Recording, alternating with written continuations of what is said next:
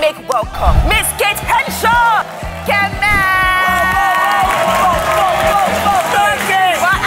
Anything my mind tells me to eat is good for my body. What is your secret? I just found exercise, lost so much weight. Then when I reveal my six pack, the internet say, ah, oh Jesus, you have it. being slim does not mean you're fit. And being fat does not mean you're healthy. Choose the body you want and be fit in it. Showing on Africa Magic Urban every Friday, 9.30 p.m. On AIT every Saturday, 9 p.m. And on HIP TV every Sunday, 8.30 p.m. Proudly powered by Rack Sterling and proudly refreshed by Malta Guinness.